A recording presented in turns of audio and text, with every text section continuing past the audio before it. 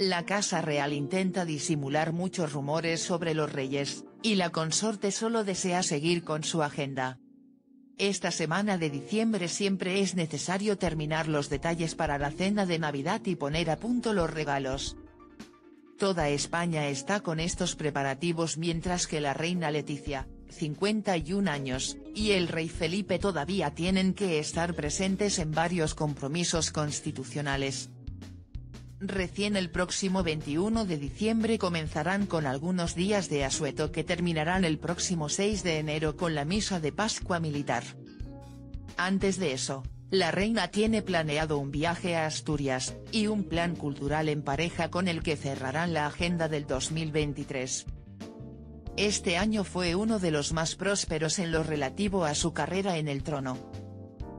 Este martes, la consorte viajará a su Asturias natal, aunque en este caso no será para visitar familia o amigos, sino para presidir la reunión anual de directores de centros del Instituto Cervantes una institución pública creada para promover de manera universal la enseñanza, el estudio y el uso del español, y contribuir a la difusión de las culturas hispánicas en el exterior. Los últimos compromisos del rey Felipe y la reina Leticia, Después de esto, el rey Felipe y la reina Leticia pondrán el broche de oro final a su agenda anual el jueves, 21 de diciembre, haciendo presencia en el Auditorio Nacional de Música de Madrid, donde serán los presidentes del concierto de clausura de la presidencia española del Consejo de la Unión Europea, por la Orquesta y Coro Nacionales de España. Gracias a esta velada cultural es que don Felipe, y doña Leticia volverán a mostrar su apoyo a la cultura española.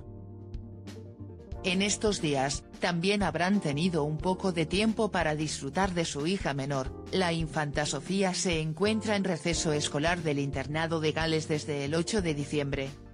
A quien los reyes todavía no pudieron abrazar es a la princesa Leonor, se encuentra todavía en la Academia Militar de Zaragoza inmersa en los primeros exámenes.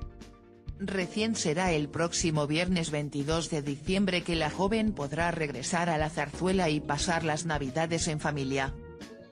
¿Dónde trabajaba la reina Leticia? Antes de comenzar a salir con Felipe de Borbón, la ahora reina Leticia se desarrollaba como periodista, trabajó en la radio y en el canal de noticias CNN+, también en la cadena pública nacional.